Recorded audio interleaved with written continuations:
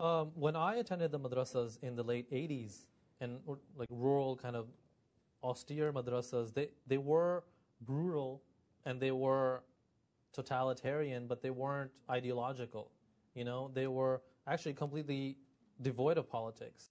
Um, when I went back in 99, and this is in the book, and I encountered people from madrasas, and one of the things that didn't make it into the book actually was another um, kind of a conversation and encounter and argument that I had with madrasas outside of Lahore.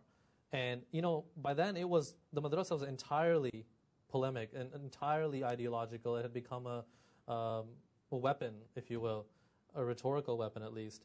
And and that change, you know, there were geopolitical reasons that that change took place over the 90s.